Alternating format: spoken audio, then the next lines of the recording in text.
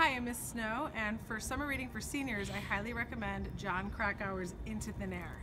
Jon Krakauer is the same author of Into the Wild, and if you read that book, you know that he writes in the investigative style, um, and that's a really great um, option for people who love memoirs and nonfiction. Into Thin Air, however, is really for people who like adventure, particularly mountain climbing. So it's about the bottleneck on Mount Everest in 1996, and you'll have to read the book to find out what happens um, and the chaos that ensues on top of that mountain when a big storm hits the beginning of May. So, Into Thin Air, Jon Krakauer, come see us in the Media Center.